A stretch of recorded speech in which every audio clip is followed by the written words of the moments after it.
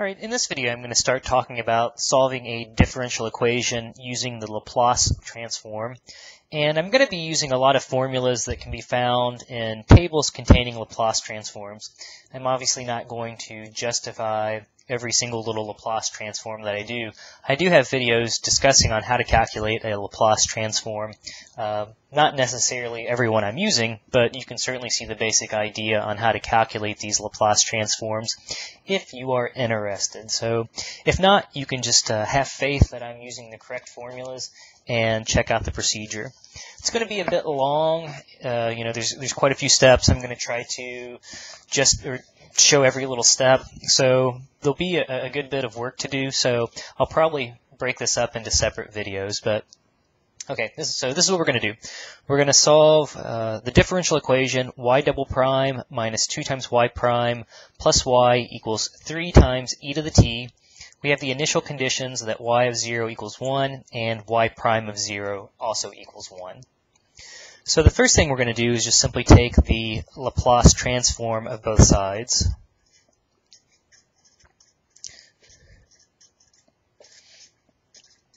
So we'll take the Laplace transform of both sides, and we can use linearity to break it up on the left side. So um, one other thing too, just notation-wise, um, here in a second you'll see that I'm going to use the notation Sometimes we use f of s. I'm going to use capital Y of s to denote the Laplace transform of the function y of t. So you'll see a lot of y's floating around in a moment, referring to the Laplace transform.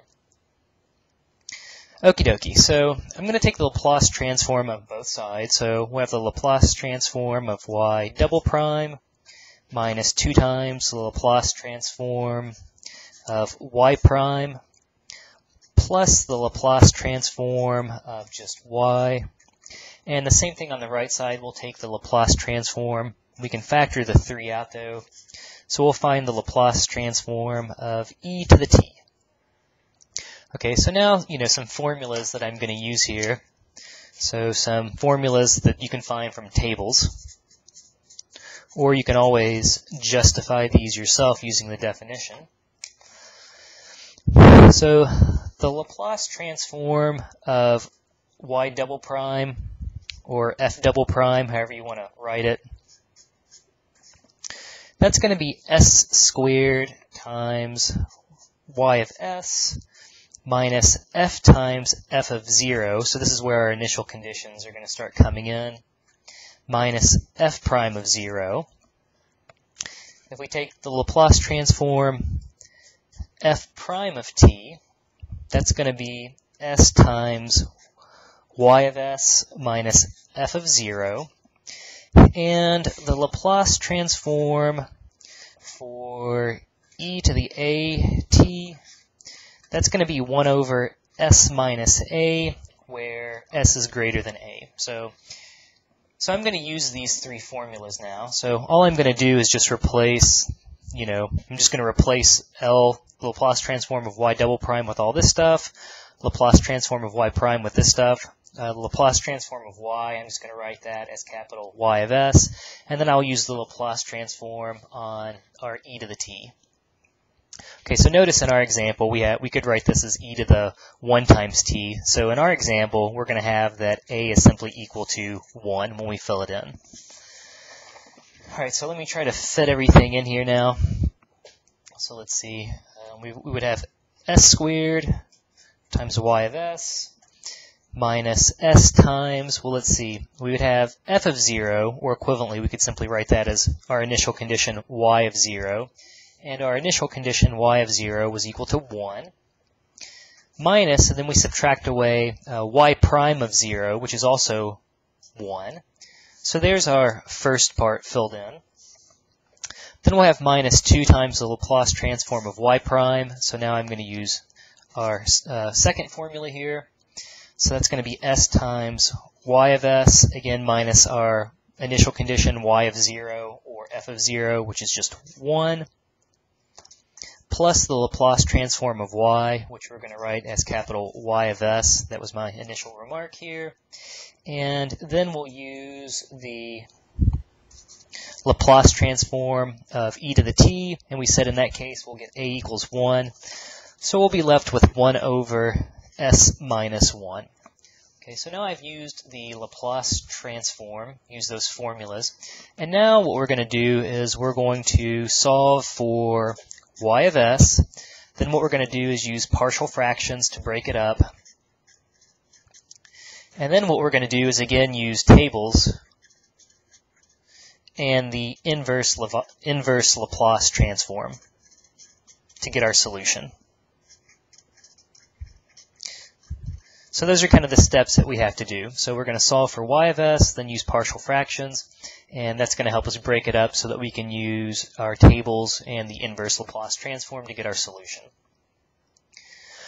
Okay, so um, I guess hopefully this isn't the worst part, but let me just write it all out. So we have s squared times y of s minus s minus 1.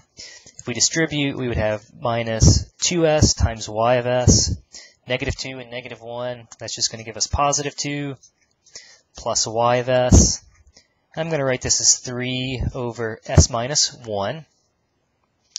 Okay, so let's see here. Um, so I'm going to solve for y of s, so I'm going to get rid of all the terms. I'm going to leave all the terms involving uh, y of s on the left side. So let's see here. We've got 3 over s minus 1 on the right. Let's see, so we could add s over. So let's add s over. And I'm going to do a couple steps at once. Eventually I'm going to get common denominators. So you could write this as s over 1.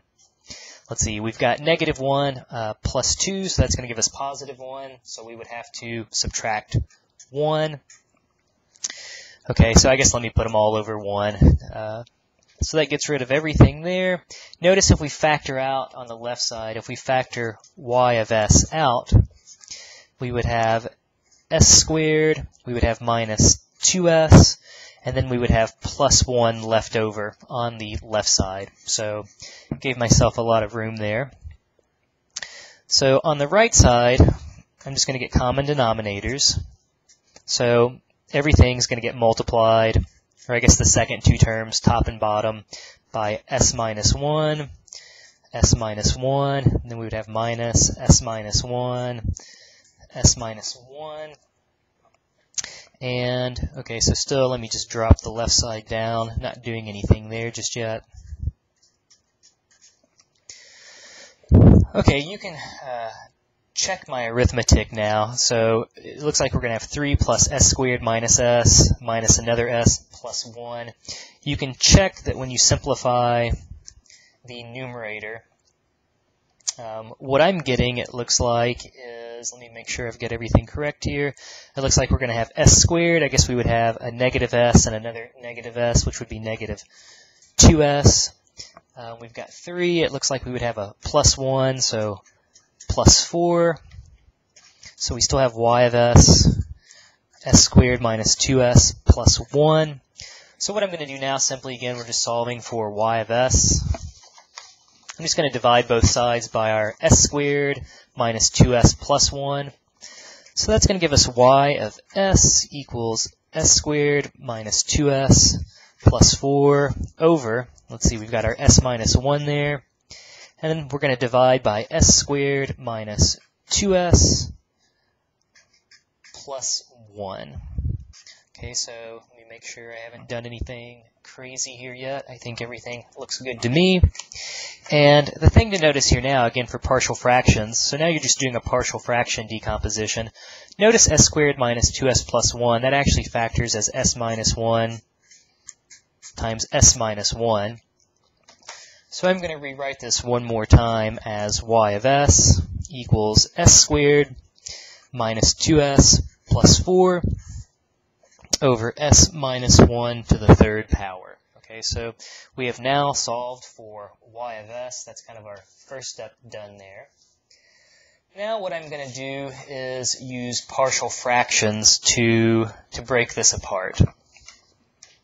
So we can break this apart. So we've got s squared minus 2s plus 4 over s minus 1 to the third power. So we're going to have s minus 1 to the first power.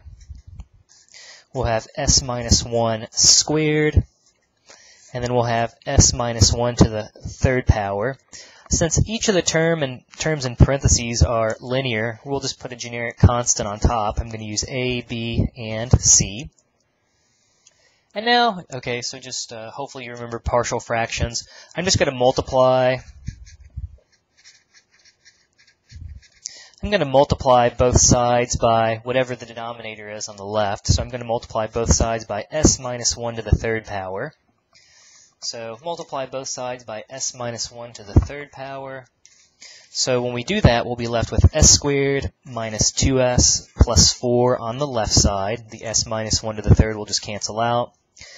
We'll have a times s minus 1 squared when we distribute, plus b times s minus 1. And then I guess we would just have plus c left over. So recall now what we'll do is just equate coefficients because we're trying to solve for a, b, and c. So we've got s squared minus 2s plus 4. Well, this is going to be s squared um, minus 2s plus 1 if we square out our s minus 1 term. So then we have bs minus b. I'm going to go ahead and distribute. And now what I'm going to do is regroup the terms on the right side.